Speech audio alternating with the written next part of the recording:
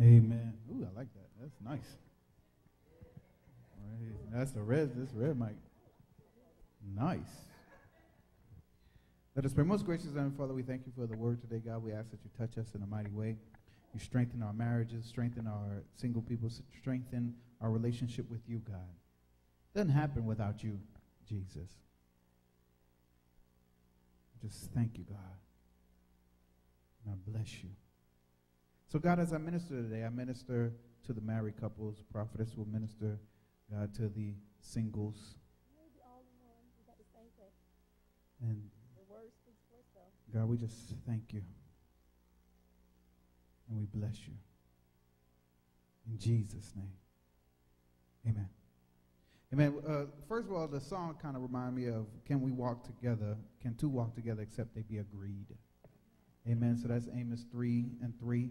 Um, I, I, felt that in the spirit that uh, you can't get to the mountaintop if you're always picking somebody, pulling, pulling, pulling, pulling somebody to go with you. You got to walk it together. You got to climb together. You need each other to climb higher. And, and sometimes we forget that uh, in order to go higher in your marriage and to go higher in your relationship, you need help. And that help comes from one another. Amen? So just uh, just be reminded of that. That that wasn't part of my message today. That, that was just a, a bonus because of the song. And, and, God showed that to me as the minister, as she was singing in the ministry. So praise God for uh, Sister Jessica. Amen. Amen. Go with me to the book of First Corinthians, uh, First Corinthians chapter seven, and uh, I will read it from the King James. King James happens to be much shorter uh, in text than the Message Bible, which you'll be reading together later. Uh, now, uh, 1 Corinthians 7, uh, the title of my portion of this message is Get Yourself a Rock Star Marriage. Get yourself a rock star marriage. Whether you're married or not, this will work for everybody. Get yourself a rock star marriage. I believe that God sometimes wants to deal in, uh, He wants to show you off you know these a lot of these rock stars they're out there they're being showed off to the world but how about if god could take your marriage and show yours off so i believe there's a time and a season that you can get of a rock star marriage look to your neighbor and say i'm, I'm going to have a rock star marriage I already have one, so I'm praising I'm praising the Lord already in advance. But I'm gonna have a rock star marriage. Just tell them I'm gonna have a rock star marriage. Uh, there's a couple of things that uh, God had showed to me uh, over the times, over this 21 years, that have been effective in delivering rock star status to our marriage. I'm just talking about my wife and me. I'm not worried about y'all, but I, I know for a fact that uh, I could show off our marriage and, and, and you'll see 99.9% great things and maybe 0.1 of a bad thing. It'll, it'll show itself every now and then, but because of all the experiences, you can't even find it. Amen? You know, every now, let me just tell you, it's, it's not everything is perfect. We wouldn't need Jesus if it was, but thank God for Jesus. he, he cleans up my blemishes. Amen? So 1 Corinthians chapter 7, uh, there's some uh, going on, but that's okay. 1 Corinthians 7, now concerning the things whereof uh, you wrote unto me, it's a good for a man not to touch a woman. Nevertheless, to avoid fornication, let every man have his own wife, and let every woman have her own husband. Let me just help y'all out. it says, uh, uh, the, the writer, Paul, saying, you know, it's good that you, uh, you don't touch a woman or a woman don't touch a man, but if you have to, go get married. If you can't control yourself, at least go get married. Let the husband render unto the wife due benevolence, and likewise unto the wife, unto the husband uh, uh, let me just help y'all out again. Due benevolence is the cookie jar. I'm just telling you what the word says. Every now and then you got to open the cookie jar because if not, he going to get his cookies. I'm just being real. This is what the word is. This is not me saying it. This is my brother Paul. Paul wrote this from prison. He didn't understand. He wrote this to the Corinthian church because the Corinthian church had been through some stuff. The Corinthian church had been into uh, uh, sex with her uncles and, and stuff like that. So he's writing from experience. He found the church, but he wanted the church to understand that just because uh, you're, you're blowing up, you're getting larger, don't mean you come up with some problems. So here's some ways I can fix that. And here's the things that to deal with. First thing you got to do is stop acting crazy. You cannot put your, your, your, your husband on an intimacy, intimacy strike forever and think he's not going to find that fishy. Is not me, it's a word. Verse 4, I just got quiet, so I appreciate that. Y'all, y'all married women just said, Man, why is he beating up on me? I'm not beating on you. It says, likewise, also wife unto the husband. Say, husband render unto the wife due benevolence. Who's he admonishing first? The husband. Mm. But in this day and age, unfortunately, these husbands, they want it every day, right? You know, women saying, man, well, I got to be this one. I got y'all. I got y'all back. Don't worry. The wife has not power of her own body, but the husband. Likewise, also the husband have not power of his own body, but the wife. Defraud ye not the other, except it be consent of a time. It means y'all need to agree. If y'all not going to have some intimacy, y'all need to agree in, a, in, in a season. Amen? That you may give yourselves to fasting and praying. If you agree not to have intimacy, it better be some fasting and some praying going along. And come together again, that Satan tempt you not for your incontinuancy.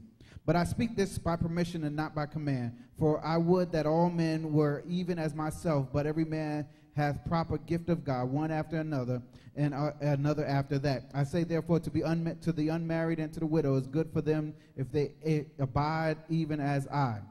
But if they cannot contain, let them marry, for it's better to marry than to burn. And unto the married I command ye not I, I but the Lord, let not the wife depart from her husband. But and if she depart, let her remain unmarried or reconciled to her husband, and let not the husband put away his wife uh, if you have a separation, the separation is for a season, not forever. This is what the text is saying. This is not me. This is uh, this is when you uh, when you're having situations in your marriage that need some working out, and you cannot live in the same place. You have to understand. You have to be separated for a season. That doesn't uh, that doesn't mean go have sex with other people, go date with other people. That's just a separation for a season. Amen. It says, and then come back and reconcile. Realize that you that you have your things are fixed and get it right. Amen. But to the rest speak I not the Lord. If any brethren have a wife that believeth not, and she be pleased to dwell with him, let him not put her away. And the woman which has a husband that believeth not, and if he please to dwell with her, let her not leave him. What it's saying is, uh, if they're non-believers and you marry them, you stuck with them. Y'all, y'all got quiet. if you chose that unrighteous man or that unrighteous woman, you can't throw them away and get you another one. You stuck with them. You bought them, you buy. You broke them, you bought them, you buying them. Y'all know what I'm talking about. You ever go in the store, you knock something down, that's yours. It was broke when you got it. Yes, it was, but now you got it.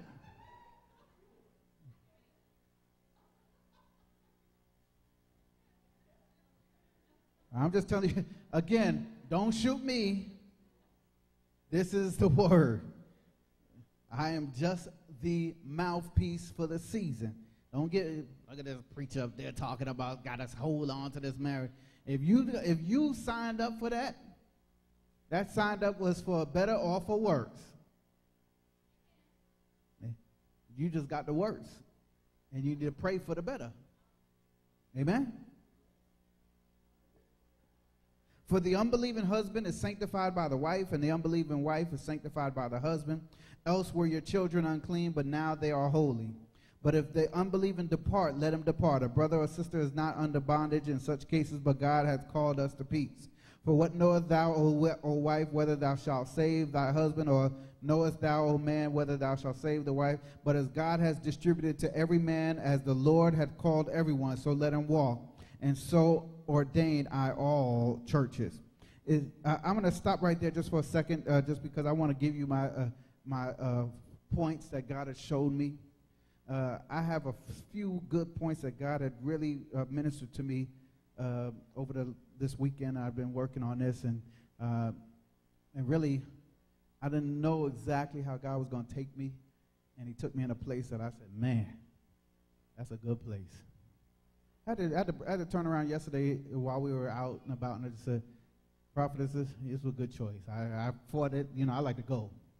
Y'all know me, right? I like to go. And for my for for my anniversary weekend, I very rarely want to be in town. I want to go out of town. But prophetess was was said she wanted to stay in town. She wanted to be close. She said we could do something else. So I kind of gave in, and and I was going to teach her a lesson. and she taught me a lesson. And that lesson was sometimes you better listen to your wife because she's right. You know, I enjoy, I really enjoyed this. It was nice. It was peaceful. We didn't have to uh, we didn't have to get on a plane. We didn't have to pack and unpack. We didn't have to rent a car. We didn't have to do all these things that you got to do when you go out of town. Um, and we just was able to jump out and go. And if we decided to go somewhere else, we just go. We didn't have to we didn't have to go get a map. We didn't need a GPS. We just went. Amen.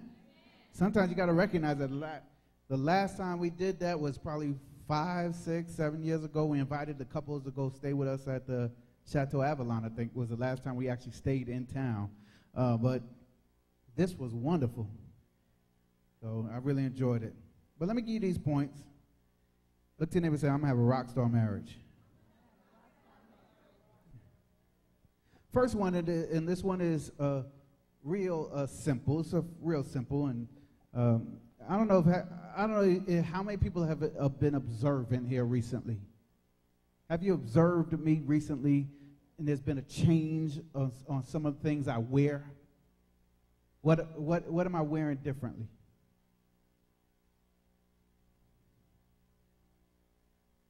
This green band has been this ugly green band has been on my wrist since November, right? Nobody's noticed. Nobody said anything about it. They, I, I, don't wear uh, all these long sleeve shirts. I wear polo shirts. But the band says, water the bamboo. Water the bamboo. And bamboo is real unique, and I'm going to relate it to your marriage in a minute. Uh, uh, bamboo uh, is, it grows funny. You can water it the first week and it'll never grow. You water it the second week, and it'll never grow. Water it, it'll never grow. Water it the fourth week, it'll grow 30 feet.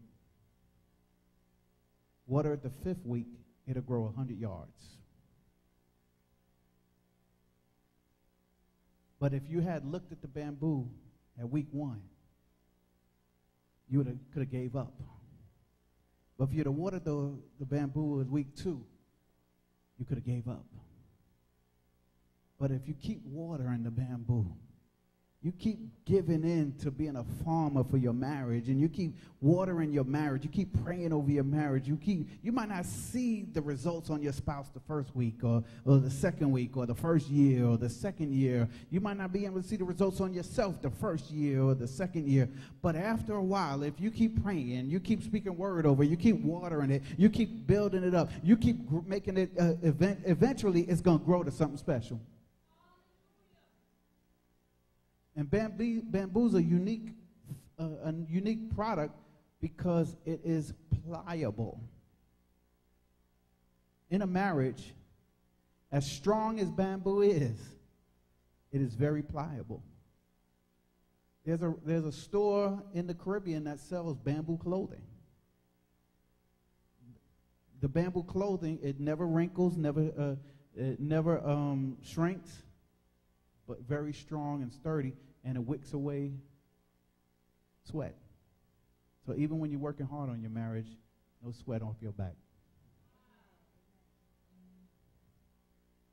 Water the bamboo. Whenever think going bad in your marriage or you don't see any growth in your marriage, just remind yourself to water the bamboo. Get you a Bible out. Get you a prayer when you're watering that bamboo, you don't do it from the top. You do it from the bottom. That means you have to get down on your knees to water it.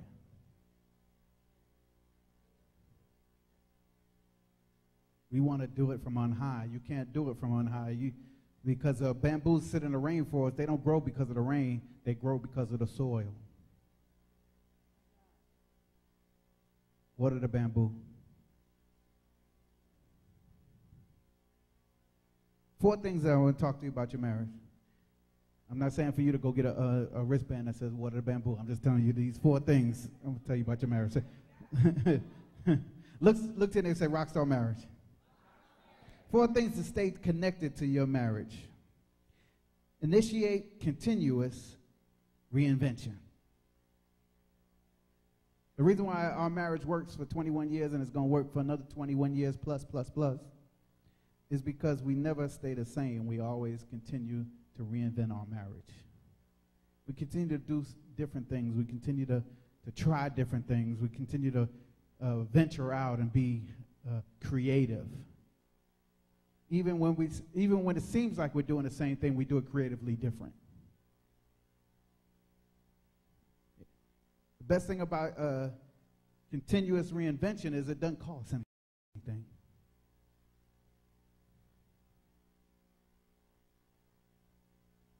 Sometimes you have to be creative in your presentation. If she comes in the house and you're complaining as soon as she comes in, change it. Stop complaining. Start adding to the blessing. She had she had a rough day of work. Let her know you appreciated her. You had a uh, the husband had a rough day of work. Let her, let you let him know that you appreciate him. Continuous re- reinvention. Provide. this is part one. Still part of part one. You provide compelling insight. That means when you when you when you can tell there's something going on, give insight to what's going on. Be a part of the solution, not a part of the problem. If she or he comes in and just starts talking about what, how bad or how strong that day was, don't ignore them. Love them. Amen? Customize your marriage. I appreciate how much y'all love our marriage, but y'all can't be us. We, it took 21 years to get where we at. Y'all can't just pop up and say, well, that's my marriage right there. I'm going to be just like them. No. If you start, if I hear, you, if I see you start wearing a hair in a bun, and you start looking, and, and, and your husband start wearing three-piece suits with a with a pocket square, and y'all listen, I'm gonna have a I'm gonna have a talk with y'all because that's y'all that y'all marriage has got to be different than my marriage. There's nothing. There's nothing wrong. there's no, If we went on a date to this place on Friday and then all of a sudden you're doing it on Saturday, I'm to check y'all. because that's my marriage. It's not your marriage. Your marriage is still y'all. We like we might like Barry White. Y'all might like uh, uh, Hootie and the Blowfish. I don't know. That's y'all marriage. Darius Rucker went country, which by the way, which is very good. Uh, uh but what I'm saying is, you have to be have to have some customization. Right? What, what works for one person is not going to work for you. And, and, and uh, for single people, this is specifically for single people right now. When you're looking for a spouse, you got to look different than the next person. You got to act different than the next person. You have to be different than the next person. Ain't nobody going to try and find you if you if the neighbor next to you looks just like you. You got to make yourself special. So I got a rock star marriage. Yeah. Point number two it's the experience. Rock star marriages understand it's about the experience. Look to your neighbor and say it's about the experience. What am I saying? Pre- preacher, what are you saying? When there's disagreements, you're not disagreeable. It's about the experience. When financial issues come up in your marriage, and they probably will at some point, it's the experience of going through it that makes you different. It's the experience when somebody gets sick and that wife or that husband is there to nurse the other person around. It's the experience. It's the experience when uh, healing needs to take place in relationships and pride and guilt and hurt, and that person is there. It's the experience. If every experience is a negative one, that marriage is not going to survive.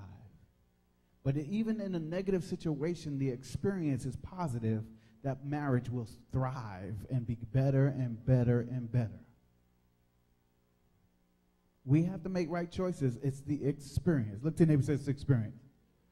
Say rockstar marriage. Three. Decide how you're going to show up.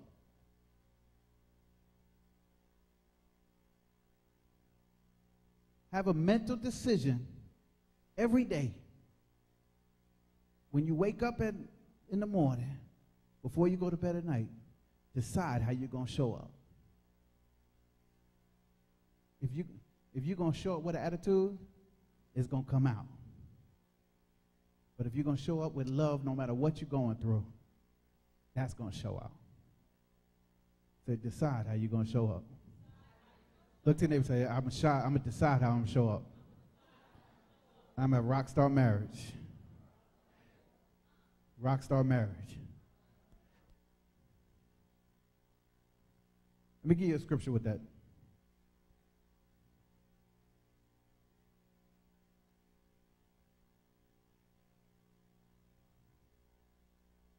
Ephesians 5.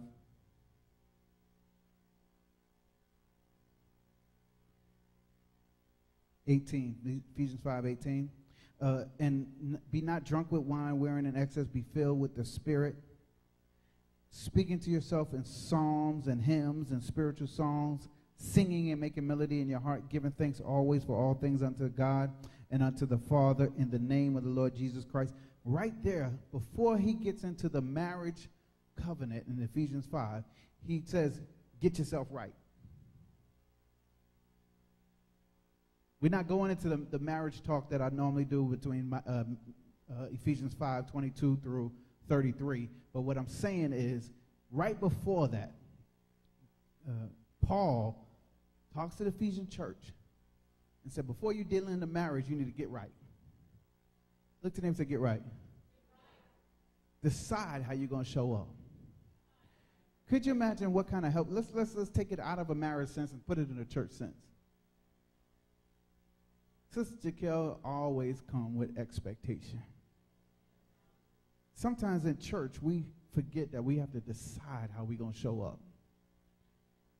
Why not come with some expectation into your marriage? Why not come with some excitement? Why not come with some joy? Why not so come with some peace? Why you always need to get the peace from the other person? Why not bring the peace and the joy with you? Why not bring the hope with you? Why not bring the love with you? If you always pulling, pulling, pulling, you're never giving, giving, giving, you showed up at the wrong place. So you have to decide how you're going to show up. You're going to have to decide how, how you're going to present yourself. You got to decide that, you know what, no matter what I'm going through, my challenges that I'm going through, I'm going to show up with joy. I'm going to show up with peace. I'm going to show up with love. I'm going to show up with a, a, personality and an attitude that makes a difference in my marriage, not, that, not keeps it the same or makes it worse.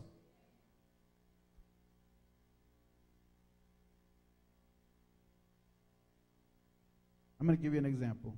I heard this story, and it, it was impactful. Has nothing to do with a marriage. It's just it, it depend. It just uh, it had to do with the type of character somebody had. It's December 24th. Somebody's catching a plane to go to Ohio. Plane's delayed. So since the plane's delayed, he goes into a Starbucks and the Starbucks person there is just smiling and just enjoying life. You know what I mean? There's somebody you can meet somebody just enjoying life. So the so the gentleman goes to her, said, well, I just want a uh, half cup latte, whatever you ordered. And she said, Going to visit family, huh? And you know, he's already down because he's traveling on the 24th. and got some bad news, so he's going home to visit with his folks. And she said, and he goes back and says, why you ask? And she said, well, you know, we don't find too many people at the airport on the evening of December 24th unless they're going home to visit family. And she said, and, and he said, well, why are you working? And she said, because I want to bring joy to people that may not be all that excited to be traveling on Christmas Eve. Could you imagine? She chose the word Christmas Eve because she wants to bring joy. What do you bring into your marriage when you show up to work? Because don't be fooled, your marriage is work. Amen? Last point, and then I'm going to yield the rest of my time to prophetess. So I'm to have a rock star marriage. Point four take action now. Look to your neighbor and say, take action now. Whether you're single, whether you're married, whether you, uh, uh, you've been divorced, you need to take action now. Don't sit back and let somebody else do it, you do it. Amen? If you begin to work on your marriage or your relationship or yourself, when the time comes, it'll be right on time. Amen? Come on, give God a hand clap of praise. And look to and say, Rockstar marriage. That's what I got coming. Amen. Hallelujah. Glory be to God. We thank. He, now I'm the one used about being color coordinated. Hallelujah. I'm, I'm just going to just, just flow along with Pastor Adam. I'm going to the Message Bible. God pretty much made this simple. Um, those of you, we're going to go look at the Message Bible, and I'm going to start off. And even in the Message Bible, it says to be married, to be single. Because 1 Corinthians chapter 7, Paul is speaking to the Corinthian church, and um, just at, at verse number 1, uh, we can see here it says, Now getting down to the questions you asked in your letter to me. First, is it a good thing to have sexual relations? One of the things that stands out here is that here it was, the church knew to go to the priest to get the answer. They didn't turn on to find things about relation on the television or to look towards the world. It was very interesting that they took the time to write to the Apostle Paul and so many times the church, when it comes to relationships, we want to get that from our friends, and some of them not even in church. We want to look at certain TV programs and movies. Um, just like so many marriages would arrive because every we had a lot of evangelical housewives was reading the book the 50 shades of Grey trying to depict that to be their marriage amen, amen. glory be to god and so verse here verse 2 through 6, and then I'm going to give out certain sections um, of this to the ministers and have you to read. I mean, I call your name, just come stand up front here. In verse 2 through 6, it says, Certainly, but only within a certain context is good for a man to have a wife and for a woman to have a husband. Sexual drives are strong, but marriage is strong enough to contain them and to provide for a balanced and fulfilling sexual life in a world of sexual disorder. Think about this. Paul wrote this thousands and thousands of years ago, and right now in the 21st century, we have a world that is in, has full of sexual disorder. Can you agree with me? The marriage bed must be a place of mutuality, the husband seeking to satisfy his wife and the wife seeking to satisfy her husband. Marriage is not a place to stand up for your own rights. Uh oh. Marriage is a decision to serve the other, whether in bed or out. Hallelujah.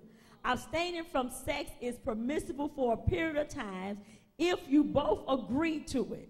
And if it's for the purpose of prayer and fasting, but only for such times, then come back together again. Satan has an ingenious way of tempting us when we least expect it.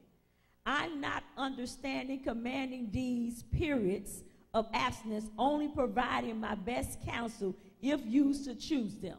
So we have to understand, even in times of sickness and wives, we have certain things. So it's not all about the bedroom, amen? And singles, you must understand that when you're looking for a mate, and I say this, when you say those vows, it says for better or for worse. And so we have to understand that so many, this world is such a sexual disorder that that's everything is, is, is driven towards that. So the next verse at verse 7, I can get Minister Smith, amen, verse 7 through 9, if you can pick up and read there. And the reason why I like the message Bible because it is speaking very plain. I really ain't have to say you just got to be plumb dumb. You don't understand what Paul is saying. He's speaking our language. Hallelujah. Go ahead. Sometimes I wish everyone was single like me. A simpler life in many ways. I want you to know they has an exclamation point. Amen.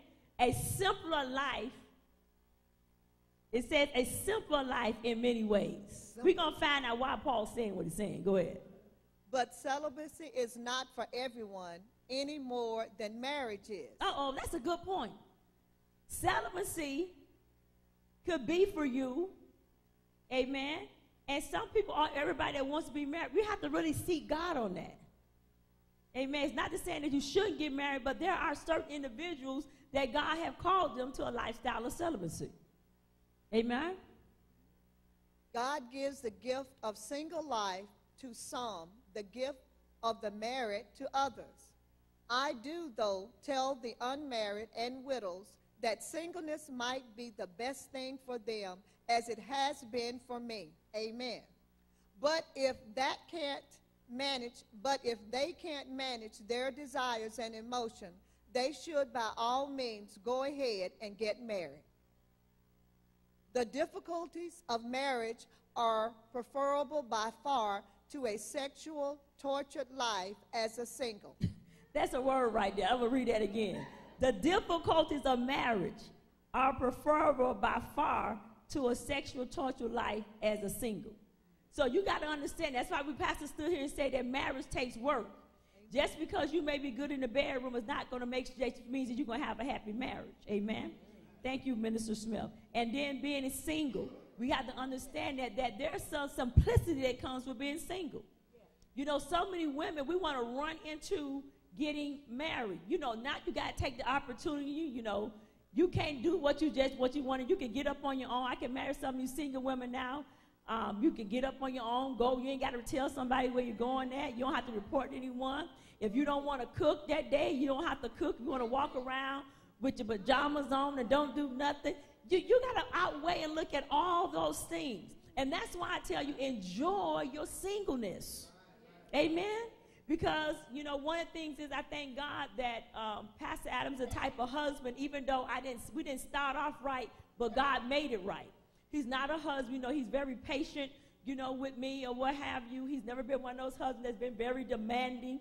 And so we work together as a team. He never had a requirement on me that, you know, I'm the one that wear the pants in the family. I mean, he was working eight or nine hours. I was working eight or nine hours, so he didn't expect me now to come home and cook and clean and do all that.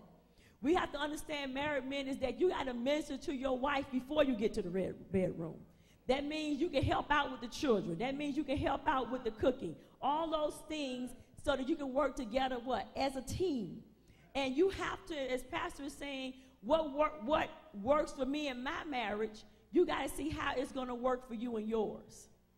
Amen. Pastor Adam and I work together as a team. I'm the one that likes to do a lot of the cleaning. He's the one that does cook. I've been on him lately because he's been slacking in that cooking area. Amen. and so although the children, you know, they tease and, and they say, oh, mama don't cook or what have you, you know, I just don't like cooking. I figure if I don't like doing it, then let the person that enjoy doing it do it. Amen. But Pastor Adam never picks up, does, never picks up a broom, doesn't clean the restroom. I do all that stuff. Amen. So it works, you know, for us. And then some of you, you may have husbands that can't cook. And so it's better for the wife to cook. Amen. If you want to eat. Glory be to God. So let me get um, Minister Justin, if you can read verse 10 through um, 14. And remember, those you are following in 1 Corinthians chapter 7, 10 through 14. Amen? And if you are married, stay married. This is the master's commandment, not mine.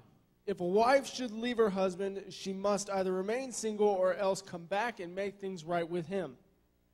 And a husband has no right to get rid of his wife.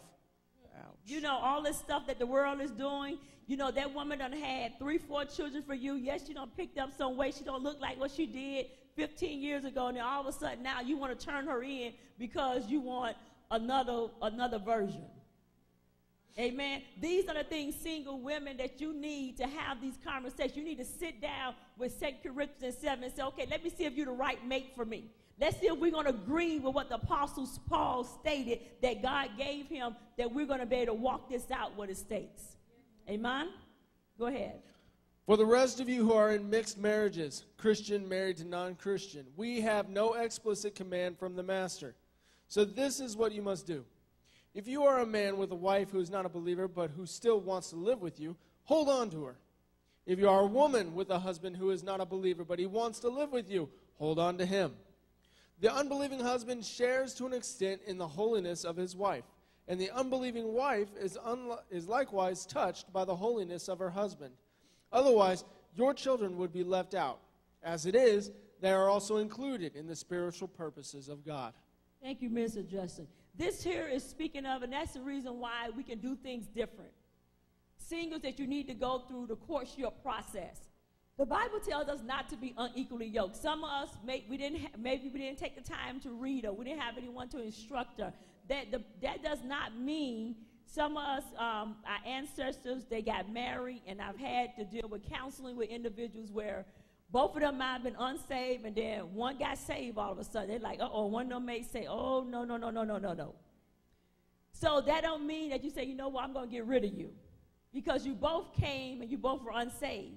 And and this is where Paul comes in at is that you are continue to do walk your walk with the Lord.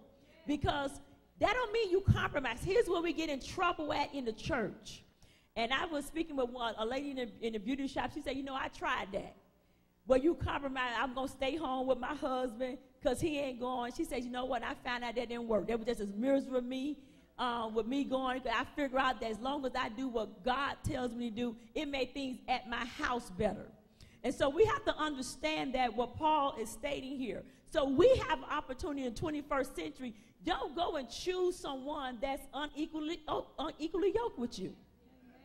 Amen. Amen. You're hearing this word right now. And don't think that you know what, I'm just going to marry and then I'm going to change him later or her later. It doesn't work that way. Amen. It doesn't work that way. What, what does it look like you're a Christian, you hooking up with a Muslim? What does it look like? It's this not the Muslim. We have a lot of bloodless religions. What, what are mother? The Catholic religion. That any religion, the Mormon religion, that does not believe in the blood of Jesus Christ, that is being unequal. You're already setting yourself up for challenges. So that's where you're going to have that ministry of being on your knees. Amen. I ain't melting business, but if you're there, God is saying you're going to pray your way through. Can't turn them back. Hallelujah. You're going to have to be on your knees. You're going to have some kneeology. Amen. And you're going to have to believe God for that husband, that husband, that wife to come to the Lord. But you are to, he says, if any, what Paul said, but you modeling before them, perhaps that would change them. You compromising in your marriage is never going to bring anyone closer to Jesus. It doesn't work. Amen. Because one day you're going to have to stand before. And I put it this way, I'm just making it plain. Amen. Me give you some Miamiology. It don't make sense for both of us going to hell. Amen. I'm going to follow God. Whether they want to follow God or not, I'm going to be obedience to God. Hallelujah. Glory be. And then we talk about the children that come in that relationship. That them children are able to, to see a spouse or see one of the parents that's laying hold to the word of God, that you're modeling that before them. Amen. Glory be to God. Could I get um, Minister, Minister Parker, Parker, if you can read verse 15 and 17.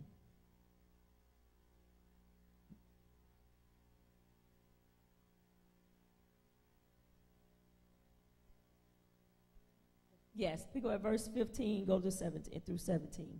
On the other hand, if the unbelieving spouse walks out, you've got to let him or her go. You don't have to hold on desperately. It's not right there. I mean, Paul, I said, when I read this, he, he says, you don't have to hold on desperately. Listen, either they're going to love you or they're not. Hallelujah. Amen.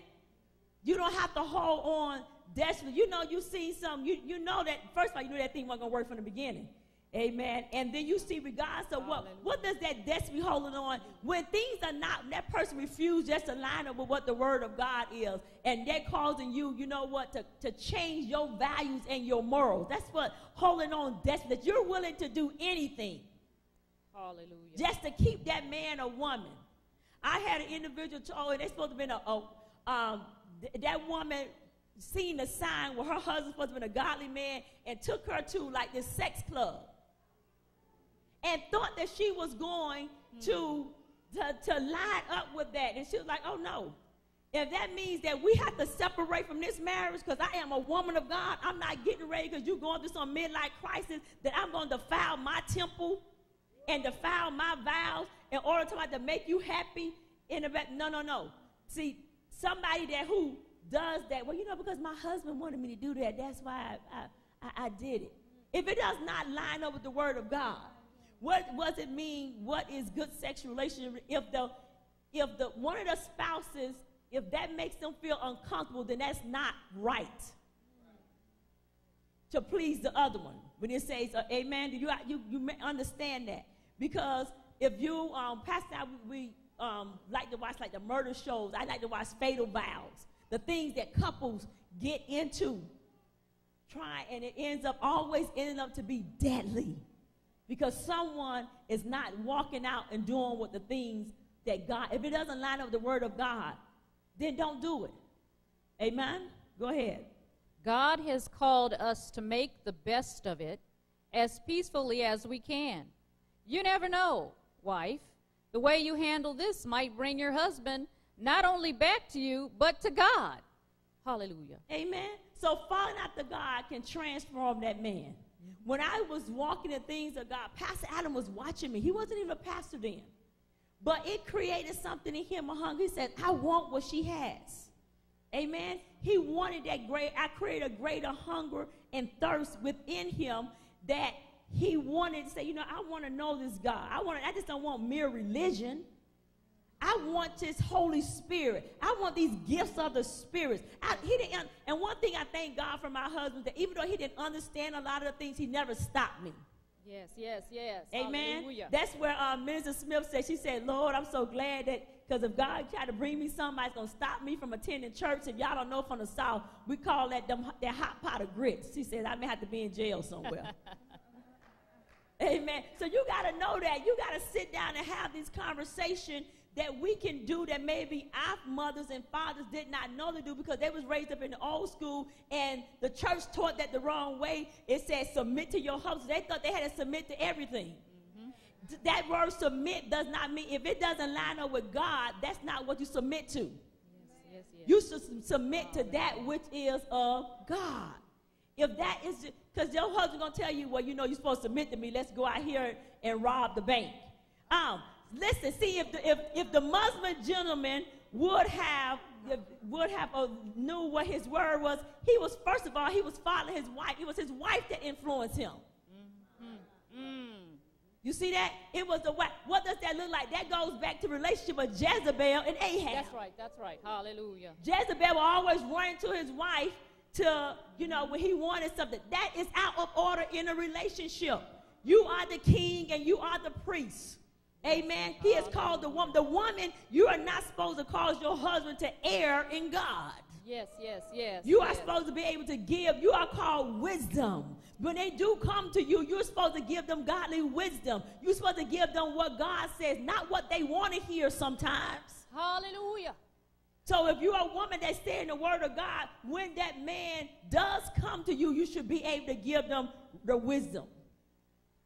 Amen. So we don't want relationships. We don't want um, Jezebel and Ahab to end our relationship. You need to say, Jezebel, you're not the boss of me. Jezebel, you're not the boss of me. We don't want that spirit. Amen. Hallelujah. Hallelujah. Don't no woman want a weak man anyway. Amen. Glory be to God. Glory. We, we want meekness. He never say weak. You just whatever I whatever I say do, you just gonna do it. Some women may want men like that, but I know I never wanted one like that. Hallelujah. Amen. Glory be to God. Praise Go God. ahead, daughter. You never know, husband. The way you handle this might bring your wife not only back to you, but back to God. Verse 17. And don't be wishing you were someplace else with someone else. Hallelujah. I, I think read that's plain. Don't Go ahead. You know how you have those sexual fantasy? You know. That's what pornography is. Oh, I'm just keeping it real. That's what pornography is. That's what your romance now. You trying to make your relationship out to what you seeing on TV. It ain't gonna work. Amen. Go ahead. Hallelujah. Where you where you are right now is God's place for you. Live and obey and love and believe right there. God not God, not your marital status defines God read that again. God, God, not your mental status defines your life. Don't think I'm being harder on you than on the others. I give this same counsel to all the church.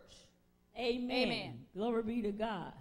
Come on, brother Dante. Come on, Minister Dante. Pick up on verse 18 through 22. Are you learning something here today? Amen. So if you want to give some singles, say, say, listen, I advise you to go to 1 Corinthians chapter 7. Amen. And spend some time there. Go ahead. Uh, verse 18 and 19. Were you Jewish at the time God called you? Don't try to remove the evidence. Were you non Jewish at the time of your call?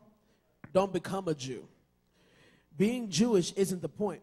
The really important thing is obeying God's call, following his commands. Come on, because and this here, you know, being that we have a Messianic Jew, we God has not called us. We we are grafted in.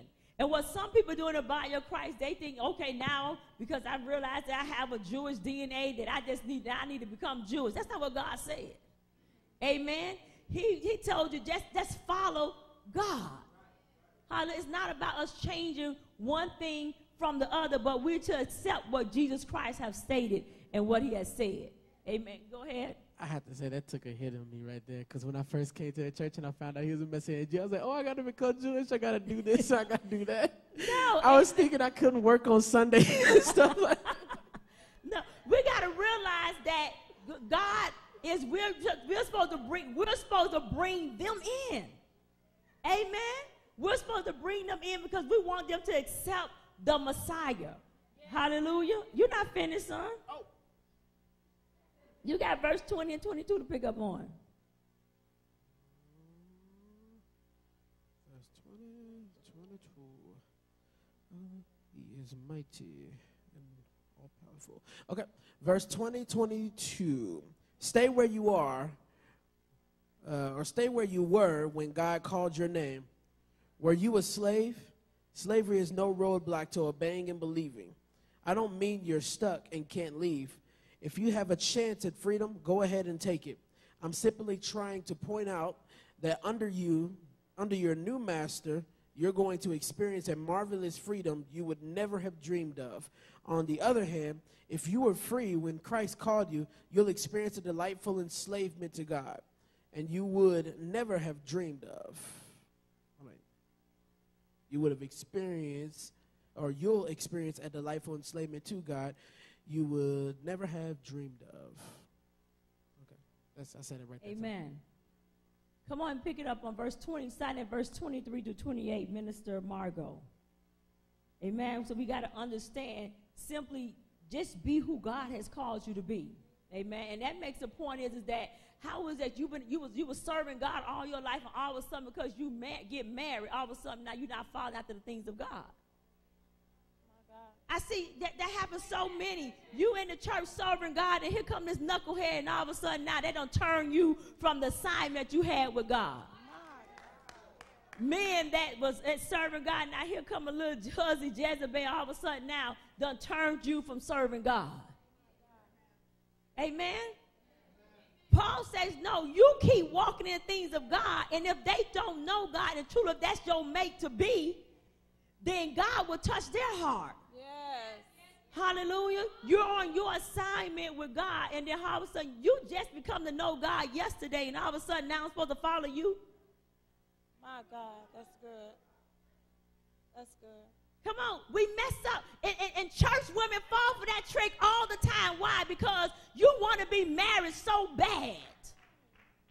Instead of obeying what God says. Hallelujah. We got to see, we got to know how to read the scripture. We got to understand what it means. It's the but that man or that woman, amen, needs to be linked up with Christ. Oh, God set some people free. Come on, because some of you, some of you, you, you know this. If you would have got this some years ago, you would have said, you know what, man, where Prophet's age was at some years ago. I wish I would have met her a couple of years ago. Man, look at here. Glory be to God. Glory. That's why Paul say some of us, man, we would have sought God. We would have just said, you know what, well, it wasn't meant for me to be married. Amen. Or I would have learned the warning. Say that's not one counseling session that I've done with a, a, a divorced man or woman and say, what did you not see the signs? Yes, I seen them. But what? God put the stop sign. We what? Ran right past it. Hallelujah. You got to understand that, and, and, that's where God's grace and mercy. Because listen, I'm not standing here saying that I've always had a right path. Listen, God spoke to me when I was in London. He told me when I was getting ready to minister to the singles and to the singles and to the married couple. He says, you know what? But when you link up with God, you may not start off right, but God will make it right. Amen. So you got to understand that's the grace and mercy of God. You know, some of us sitting, Mother Collins probably married over 50 years, you know, got married from the beginning. Of course, we want, we, everybody going to be like Justin, start off as a virgin, amen, and then got married, had children, and all of that. But when you get with Jesus, he'll, make, he'll fix that thing up. Hallelujah. I'm questioning people look at Pastor Adam. They didn't know that I, Pastor Adam and I getting married to Danielle was three. But those were the words of my mouth. I always said before I even had her, I said, I want my child, I wasn't even thinking, you know, I want my child, to, I want my daughter to be in my wedding. I used to say that before I even had children. But the power of what? Two things. I said that, and I said that I was going to marry a Jew. And I got both of them. One was a good. So the child had no wonder when I slept with on the first night I got pregnant. Because that seed had already been germinating in the atmosphere. Hallelujah. Glory be to God. Well, wait, what, what? The words that we speak. We got to understand that. Go ahead, daughter. Uh, verse 23 All of you, slave and free both, were once held hostage in a sinful society. Then a huge sum was paid out for your ransom. So please don't, out of old habit, slip back into being or doing what everyone else tells you. Friends, stay where you were called to be. God is there. Hold the high ground with Him at your side. 25. The master did not give explicit direction regarding virgins, but as one much experienced in the mercy of the master and loyal to him all the way, you can trust my counsel. Because of the current pressures on us from all sides, I think it would probably be best to stay just as you are. Are you married? Stay married. Are you unmarried? Don't get married. But there's certainly no sin in getting married, whether you're a virgin or not. All I am saying is that when you marry, you take an additional stress in an already stressful time, and I want to spare you if possible. Come on, Paul. He, he, he, listen, you take count the cost. Now he said, in a, let's think about the world that we're in right now. And he says, okay, if you want to get married, go ahead, but then don't be crying later. Don't be crying later because see, women we think that getting married is that you know that's gonna fix that's gonna fix everything. It just says what? Count the cost and go into. Is it worth the fight? Yes. Yes, it is. If you want to be married. But don't be foolish to think that it's just going to be tiptoeing through the tulips because of what you don't watch on TV or because what you read out of a book. Oh, you know, because from little children, we teach them the baby dolls and play with the baby dolls. That's ingrained in us, so we have that instilled in us. And then when reality sets in, uh oh. This is not Ken and Barbie with my Barbie house and my two car and, and picket white picket fence. We got to come out of fantasy land. Hallelujah. Glory be to God. So I, I, keep hearing this in my spirit. Count the cost. He said, I want to spare you if possible. Amen. Let me get, uh, well, I lost my readers at. Lost some readers. They thought they, they, they, ran, they ran off of them. Come on, um, Minister, you got Brother Dante, come and read 29. Come and I'll take us, I'll close us on it. Verse, yeah, pick up at 29, 31. Alrighty. I do not want to point out, friends, that time is of the essence. Uh, or he said, I do want to point out, friends, the time is of the essence. There is no time to waste, so don't complicate your lives unnecessarily. Keep it simple in marriage, grief, joy, whatever. Even in ordinary things, your daily routines of shopping and so on.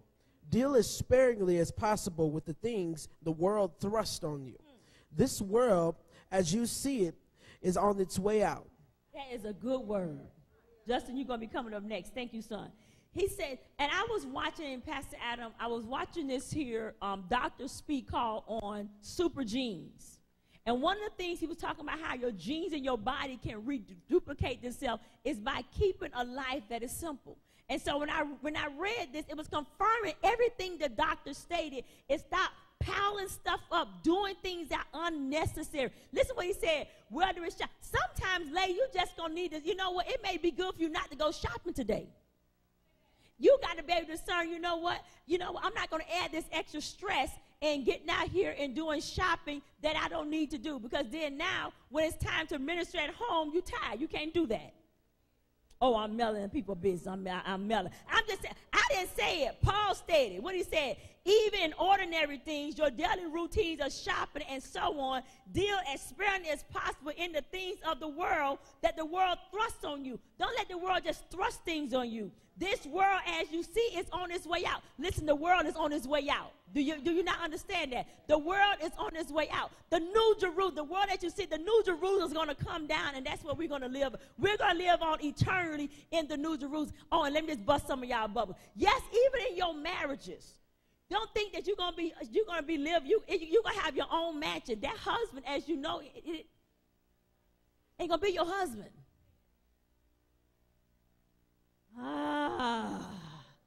And then we get it all twisted. You're supposed to, you're supposed to bring God on the scene in the family. That word family means father and mother, I love you. You're supposed to demonstrate the love of Jesus Christ as you are here. When God gives you children, you are to um, teach them and to replicate themselves as Christ. Think about I just messed some of y'all theology up. How is it that you think you're going to get to heaven and some of y'all done married, two people done been married. I mean, we had a, a gentleman here married about four or five times. Which one ain't going to decide which one you think going to be able to pick your house tonight? No, we will worship Je- Jesus Christ, Him, Lord, our, uh, uh, Lord Almighty. We got to understand kingdom principles. Because, as my daughter said, we get so um, that, that spirit of selfishness, we think is mine, mine, mine. As much as I love Pastor Adam, but Pastor Adam gonna be looking at the King of Kings, the glory, the glory. You will know them, you will know your children, but it's gonna be so much different. You're gonna get a new body. Now I don't know all until how God's gonna do that, but that there I do know through the spirit of revelation of Him speaking to me and me talking with Him in reference to that. Why do the Bible say that every man or woman got to work out their own soul salvation? Did the, did the Bible say that when you get married, that because you get married, you automatically, we just read that, that it means it's a guarantee that I'm going to heaven because I married to Pastor Adam and he's serving God? Paul didn't say that. That husband or that wife gonna have to accept Jesus Christ as their Lord and Savior. Or else you will not see them. And I guarantee you, if you got a choice to go with your husband who's going to hell or to go to heaven, which one you going to? Amen? That's why I say I'm heaven bound. So some of us may have to do somewhat kneeology. You on your knees because you like it, but you praying behind the scene. I don't want him to go to hell. I don't want her to go to hell. God, you gave this man to me, this woman to me. I don't read the word of God. They don't pass Adam and Eve don't told me I can't throw them back. Then you just gonna have to go through. Amen. You're gonna have to you gonna have to activate that faith. That's if you believe God. You're supposed to count the cost before you got mad. He said, for better or for worse. Whether they have money or whether they broke. Just because when a man no longer have a job don't mean, well, mm, child, I got to move on to something else. He can't provide for me. No, no, no, no. Nah, it don't work that way. Amen? Come on, Justin. We wrapping it up, amen. We're wrapping up. We're bringing it on home. We're going. I'm gonna need somebody to get back there some instrumental because Pastor Adam's gonna pray over all the married people, and I'm gonna pray over the singles. Go ahead, verse 30. Pick up at verse 32.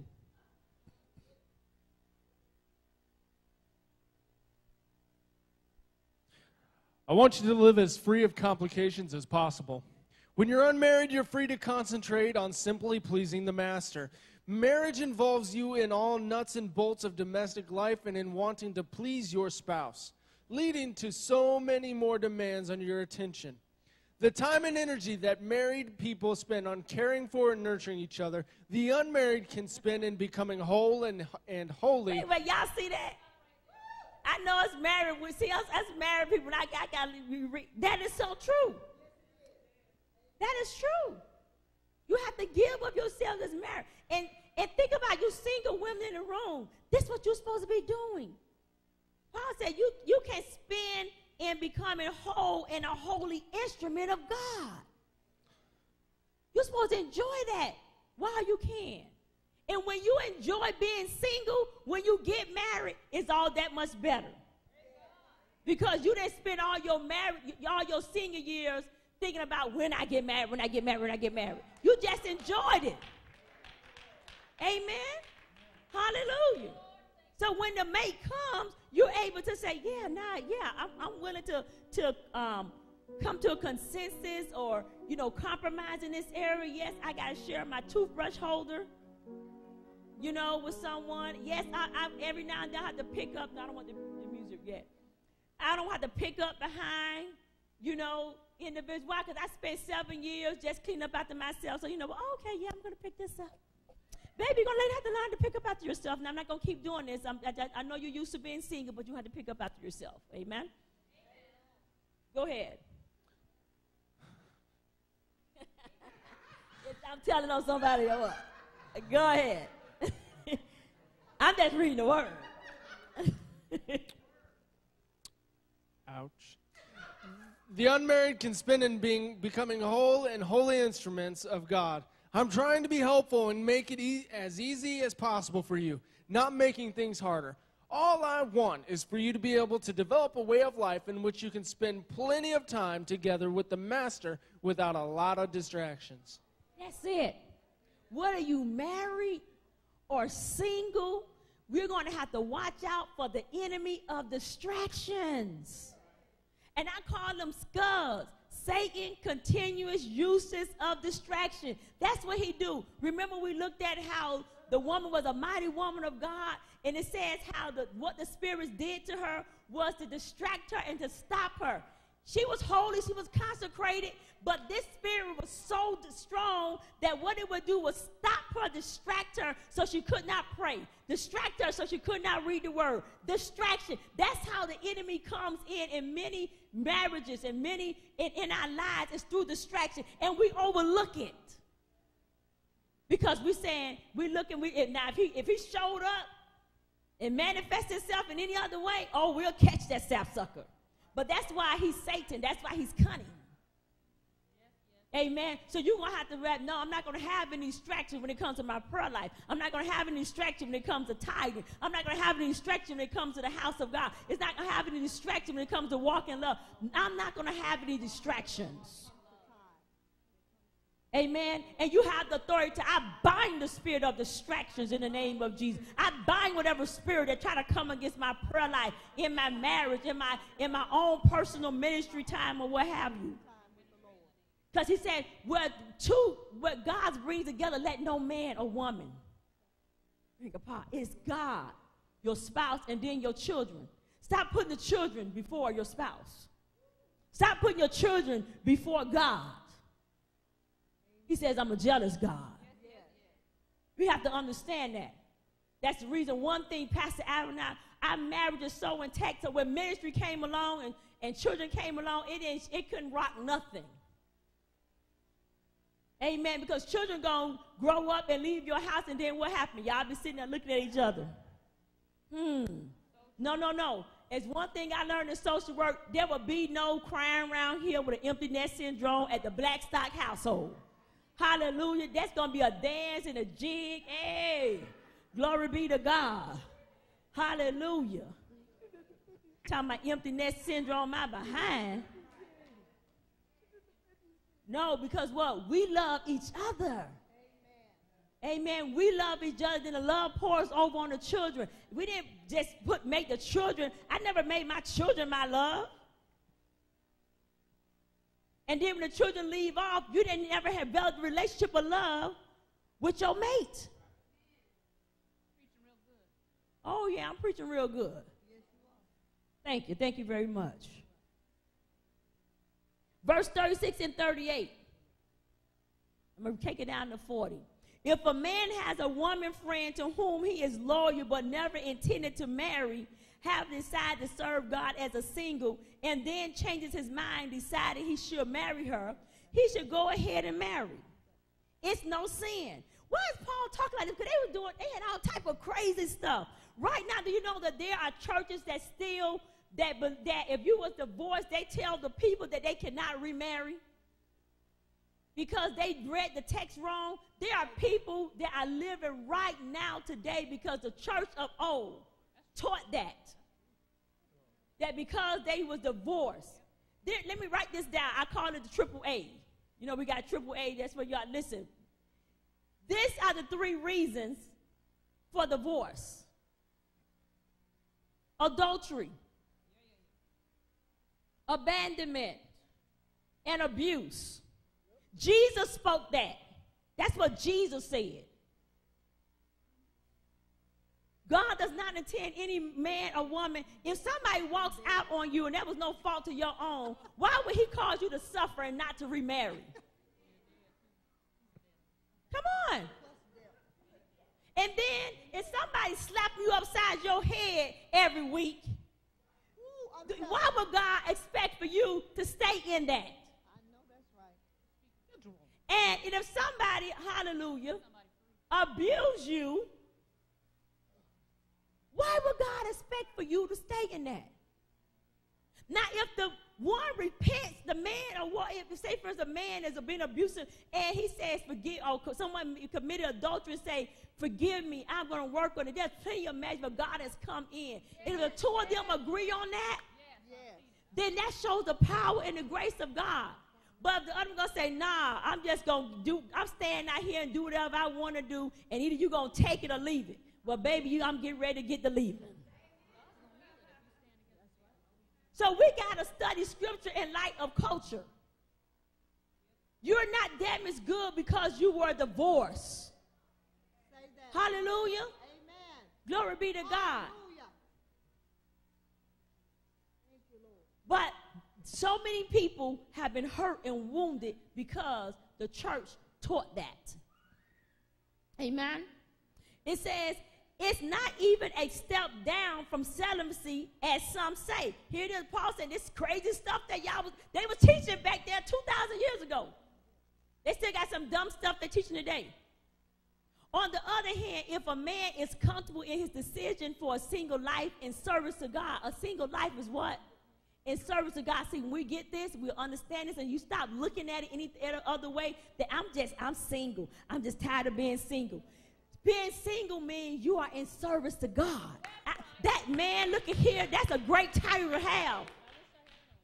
You see the difference? Just start walking around talking about I'm single. No, what you? Oh, you're not married yet? I'm in service to God. How about answering people that way? So when you go to the, everybody want to know, girl, you ain't married yet? You 30 something? Say, I'm in service to God. I bet you that shut them up at the dinner table.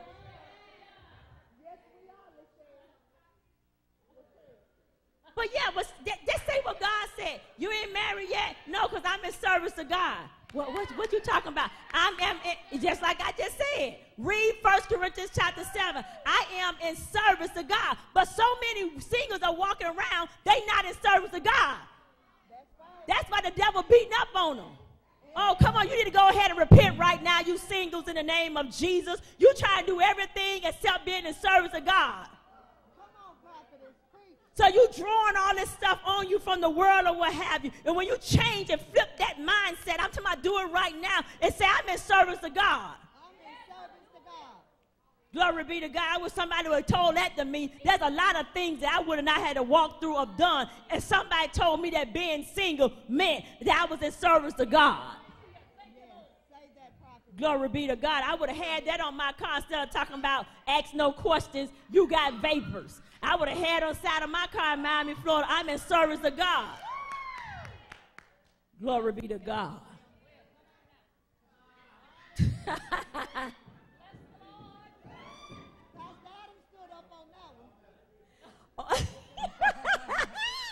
On the other hand, if a man is comfortable in his decision to a single life in service of God and is entirely his own conviction and not imposed on, uh oh, impo- come on, imposed on him by others. Imposed on him. How many of us let our family members impose stuff? They got a show out now talking about my mom and my dad was marrying me. What is that? That show? Yeah. What it say? Married by mom and dad. That is so out of order. Married by mom and dad. I don't have to sleep with them. Danielle need to find you. Danielle will have, she will have to hear from God whether that's her mate. Because when things go wrong, she ain't gonna come back to me and say, "Well, mom, dad, y'all picked them." Nuh-uh. But see, that's what the world doing. So it, it looks all good. It looks like y'all on the couch laughing.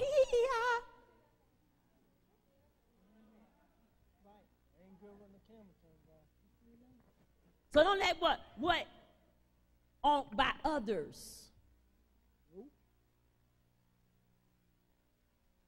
He says, I'm trying. It says the time and energy that married people spend on caring.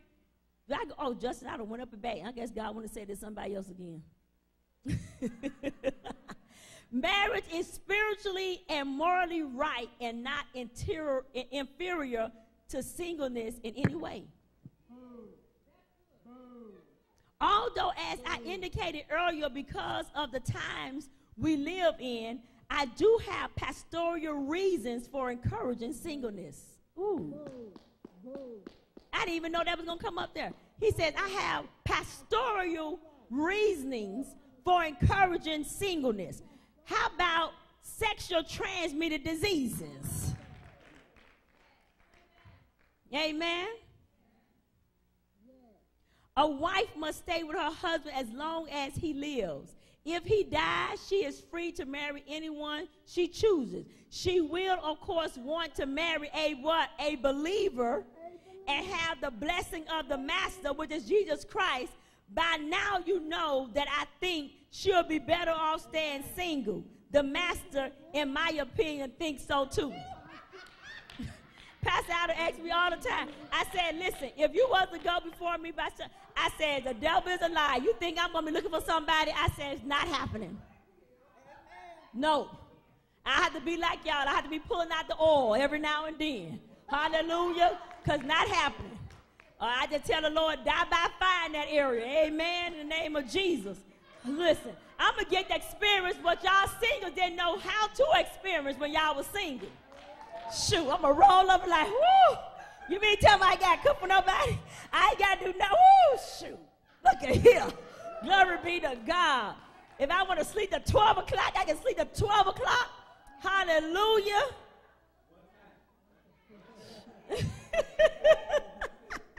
That's it. One. That's it. My what? Let's stand to our feet. Just because I, I want to do this. Um, oh, they have a song? Okay, because I'm going to do the singles and Pastor Adam. I'm going to pray over the single. Pastor Adam's going to pray over the master. If I can get the singles to come to the altar. Stay on up here. Warren, stay on up here. You ain't married yet. You, you go home and take this to your fiance. Amen. So the single, let's go ahead and put that on. I want all the singles. Let me, um, Justin, go back there in the back and, and fix that. All the singles. Listen, my young men that are 12 and older, the men that are 12 and over, come down. If you're a young woman, a young man, listen, 12 and older. Hallelujah. Thank you, Jesus. I want my sons to, to marry godly mates. I want them to have no, you know, we can't wait till they get 18 and 19, you know, wait till they get 20 and 25. No, we want to speak over them now in the name of Jesus. We can put that on, whatever the music they say they, they chose back there. Hallelujah. And Pastor's going to pray over the married individuals in the room. Hallelujah. Thank you, Jesus.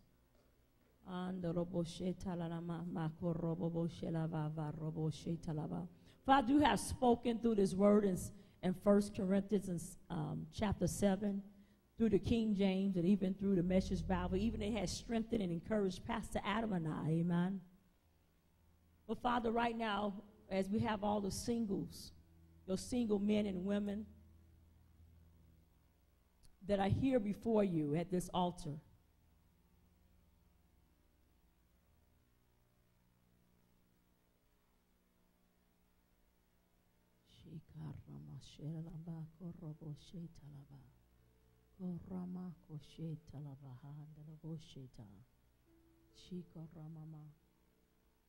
Turn the music. Where's the music? Turn it up.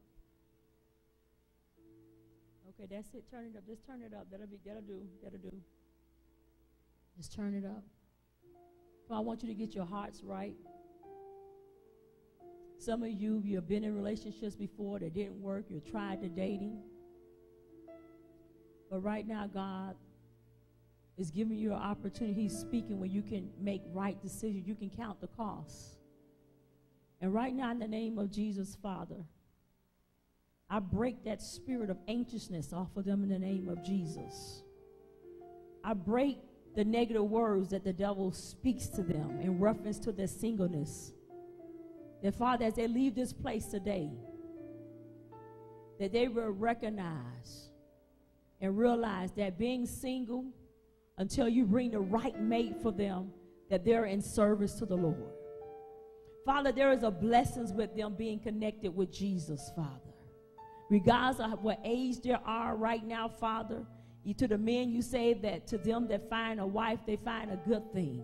They find favor, Father. Have these men, these young men, and these men at the altar that they will choose from your eyesight, Father, in the name of Jesus.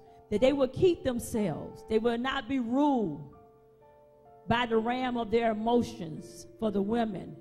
And for the men, they will not be ruled by their sexual parts in the name of Jesus, Father.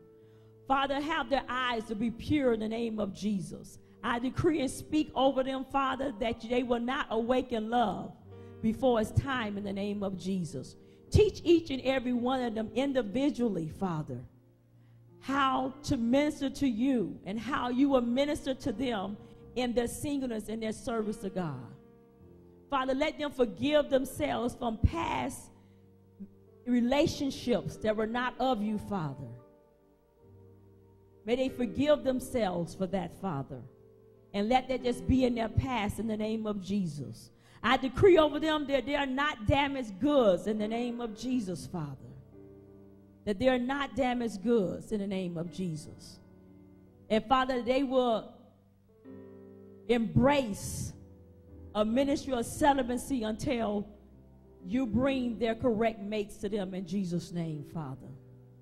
I decree that the mates that you will join with them, it will enhance their destiny, not prevent or stop it. I plead the blood of Jesus against the works of Satan that will try to prevent their ministry to come forth, that it will not be stopped. Their destiny shall not be disturbed in the name of Jesus. Father, I thank you that these marriages will be blessed as they come into the kingdom of God. There will be a testimony unto you, Father. We just thank you for them. For the young women and the young men and those who have been married, that Father, you will do a new thing in their lives in the name of Jesus, Father. That right now that they will be found peace. Peace in serving you, God. Peace in walking out this time and learning who they are with Jesus. We thank you for it, Father. In Jesus' name. And everyone say, Amen. Say, I receive it. Amen. Hallelujah. Glory. I expect to have here testimonies for some of you young people. Um, I've heard a testimony one time how a gentleman was in an airport in another state. His wife passed by him, and God just said, That is going to be your wife. He never seen her again for two or three years, and she showed up and was moved into that state. And that was the very woman, when they met up again, was the woman that God showed him in the airport three years earlier. Amen. How about some Jesus love stories? Hallelujah.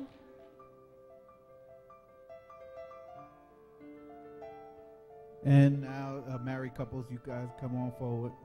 And if your spouse is not here for any reason, that's okay. You just come on.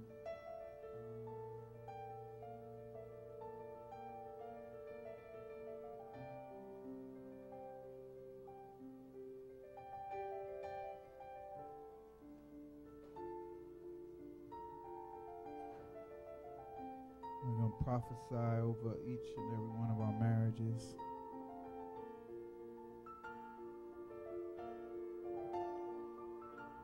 First of all, I want you to declare that I have a rock star marriage.